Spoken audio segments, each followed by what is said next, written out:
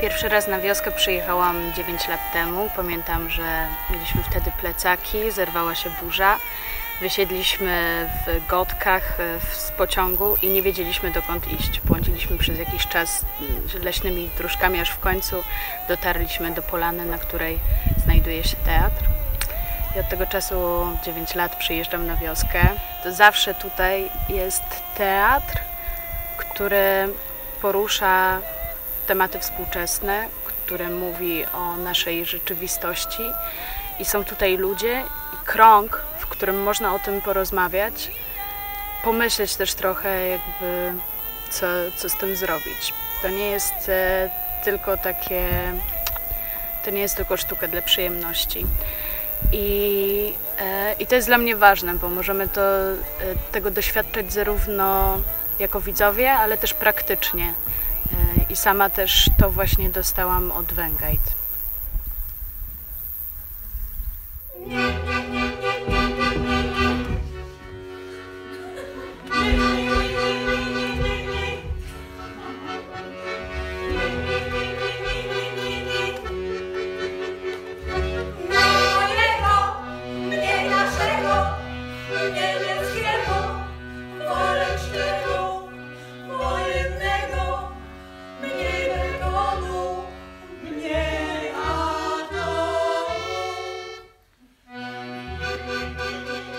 Początku była taka jedna bardzo zabawna inspiracja. E, e, Widzieliśmy film e, Herzoga, dokument o, o, o, o pewnym wspaniałym pałacu Maharadży w Indiach, który to pałac był w stanie totalnej ruiny.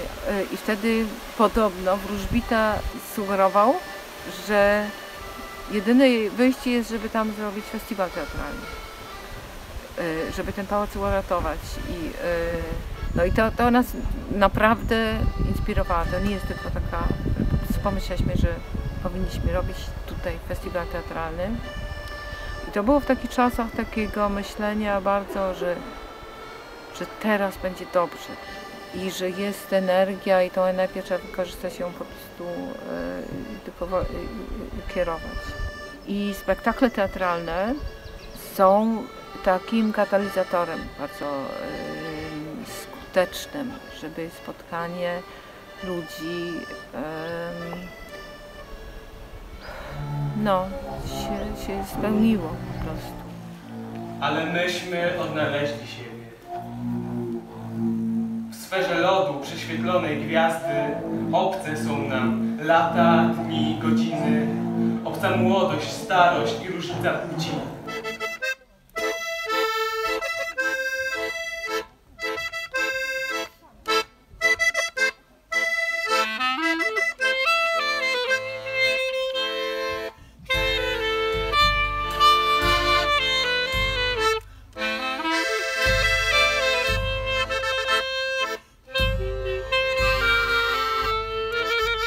Właściwie jedną z najciekawszych części wioski jest to jest ta y,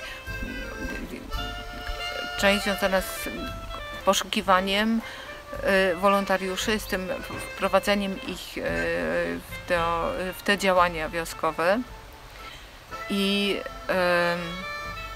i wspólnie z nimi realizowaniem tego, tego festiwalu.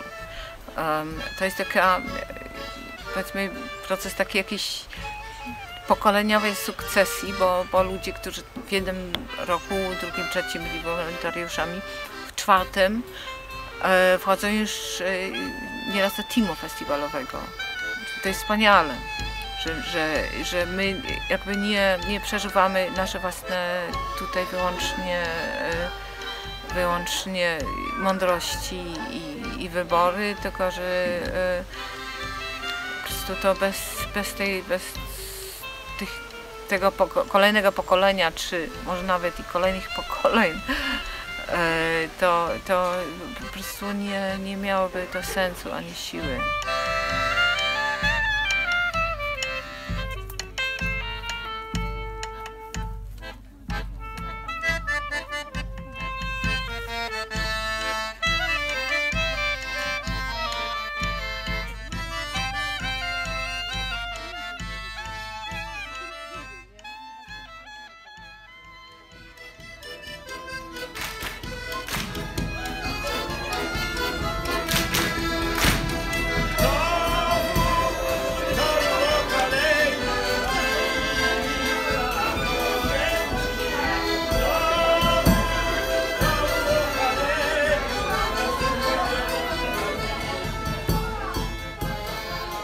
Festiwal jest jaki jest, to zostało już wiele razy opisane, że on jest właściwie taką społecznością, że się, że się tworzy bardzo silna grupa ludzi, nie tylko oczywiście tych wolontariuszy, jakby cały krąg szeroki ludzi, e, którzy tworzą wspólnie e, e, wspólną atmosferę em, wspólny jakiś taki też e, styl e, współbycia.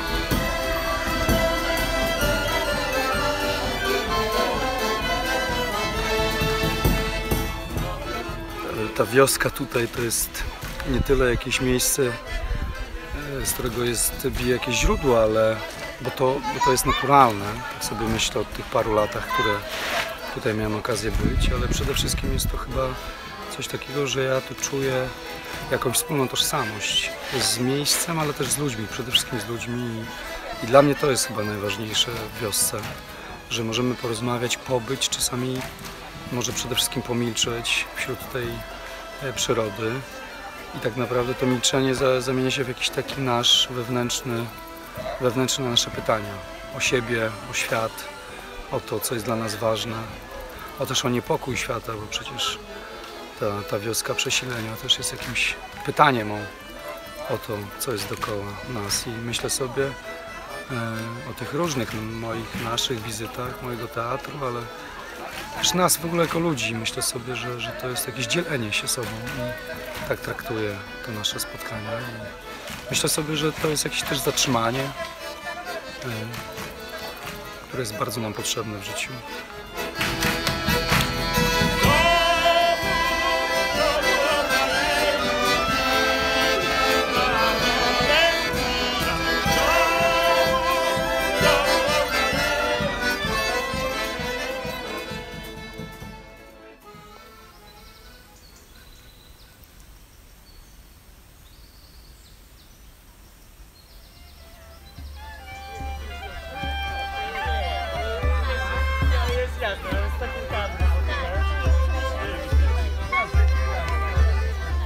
Bardzo mocno się odczuwa, że, że absolutnie nie wystarczy mieć pewne piękne, słuszne idee i te idee się spełniają.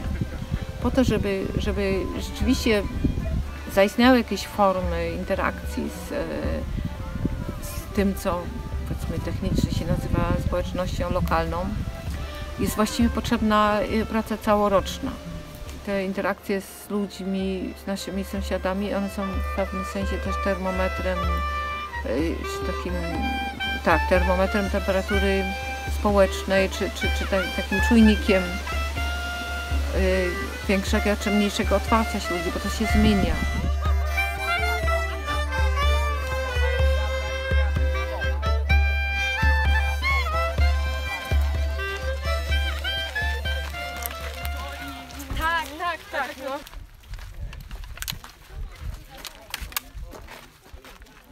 Zaczęliśmy jeździć e, z- z Ziemią bez, z tymi pierwszymi spektaklami innej szkoły teatralnej e, po festiwalach w Polsce i byłem zaskoczony, że mm, jedzenie jest takie bardzo konserwatywne, że nie ma e, wegetariańskiego menu ani wegańskiego, prawda?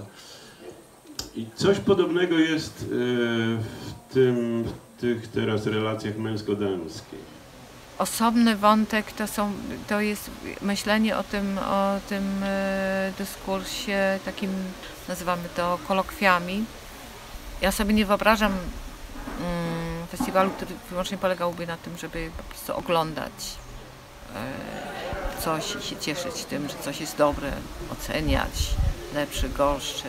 Te spotkania mi bardzo dają po prostu, no, tak jak e, w tym roku spotkanie z e, Edwinem Bendykiem, poświęcone po prostu myśleniu o przyszłości, e, dają po prostu bardzo dużo takiego intelektualnego fermentu i chciałabym to właściwie rozwijać. Dzisiejsi nastolatkowie są o 1 trzecią mniej liczni niż dwudziestolatkowie. Dwudziestolatków jest jeszcze 3 miliony z kawałkiem, znaczy w wieku 20-24. Yy, o dekadę później jest już o milion mniej w tym, tym samym przedziale. prawda? Więc wchodzi pokolenie, które będzie musiało pracować na nas wszystkich, ale nie będzie miało głosu. Po prostu, w grze demokratycznej ich głos nie będzie się liczył. Co oni mogą zrobić? Gardzę pokoleniem, które podąża, podąża za nami. Budzi ono we mnie lęk i obrzydzenie. Nie twierdzę, że my w ich wieku wlekliśmy za sobą ciężkie brzemię świętości. ciężkie brzemię świętości, to nie brzmi dobrze, co? No nie, to brzmi tak kurwa pretensjonalnie. A uchowaj Boże od pretensjonalnych tekstów, pretensjonalnego teatru.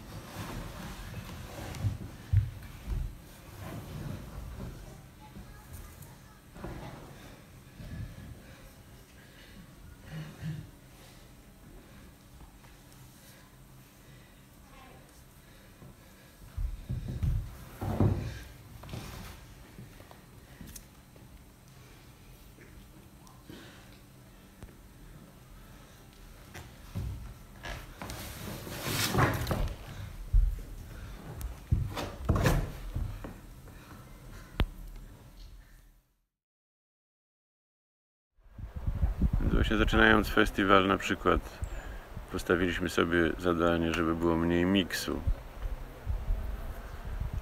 No, bo z tym miksem mm, nie wiadomo co zrobić po prostu w systemie. Tutaj teraz tak jak zorganizowana jest ta obsługa, prawda, to jest w ogóle bardzo e, mało miejsca na odbiór miksu, a z kolei mało kto potrafi tak naprawdę segregować sensownie śmieci. Więc no jest raczej y, mniej miksu niż w zeszłe lata, dużo mniej miksu. To jest jak, jakieś, jakieś wymierne osiągnięcie. No Ten stan w tej chwili jest mm, stanem chaosu. I Ale właściwie też no, dążę do tego, żeby mm, była jakaś równowaga między chaosem a porządkiem, właśnie spektakl, teatr. Może to jest coś takiego jak wychodzenie z chaosu. Więc może nie należy tego się przed tym zbraniać, tylko odwrotnie, może na- należy ujawnić chaos i tylko w zarysie e, szukać jakichś dróg wyjścia. Wśród wyznawców każdej wiary są mordercy i ofiary. Twe milczenie wskaże teraz, kogo wspiera.